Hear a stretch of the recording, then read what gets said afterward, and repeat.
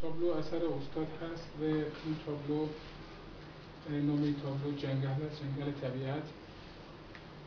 و رنگ های آزاد و بسیار رنگ های شاد و رنگ های دلنشین در این تابلو استفاده شده. جنگلی است که درخت اینجا درخت قسمت جلوی جنگل درخت هست درخت کهن و قدیمی.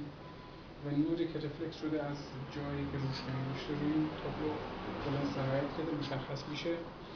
بعد قسمت های بالای قسمت این تابلو که درخت برگ های درخت هست رنگ های مختلف از نوع برگ ها و گیاه های مختلف هست الحاق گرفته به رنگ های قرمز زرد و برفش ایجاد کرده. در این پایین قسمت راه راهی که راهی که داره این تابلو ظاهرا خانمایی هستن می‌خوان برن زنها هستن می‌خوان برن مردی هست با مال و اسب خودش در این مسیر عبور می‌کنه و رنگ های برسونستی اینجا خیلی بسیار شاد و آزاد کار شده و این قسمت آب هست آبی که جمع شده آبی که شفاف هست زلال هست. نورهای منعکس شدن درخت ها و اینها روی آب منعکس شده هست.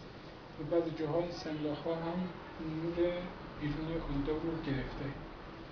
اینها رو گرفته و قسمت پایین تابلو هم بسیار جنگل شروخ هست که شاخه ها بر کار درخت ها به هم پیوسته هست و به همون علت هم تاریک هست و بسیار این تابلو با برس کار نشده ظاهرا با کارتک و ابزار خاصی فروچی پلیس استفاده شده و اینها هم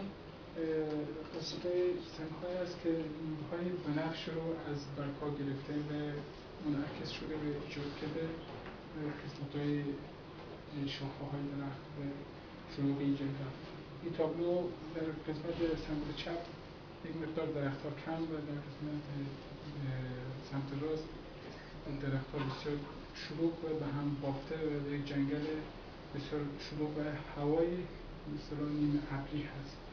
ایجاد شده و در دو قسمت آخر هم نور کم هست. ظاهرا این در هوای ابری هست این تابلو نقاشی شده و اینجا هم رنگ های برسونیستی باز استفاده شده که رنگ های آزاد در هیچ جای از شما به واقعیت نمی‌تونین رنگ رو احساس بکنین. اون چی که نقاش دوست داشته این رنگ رو استفاده کرده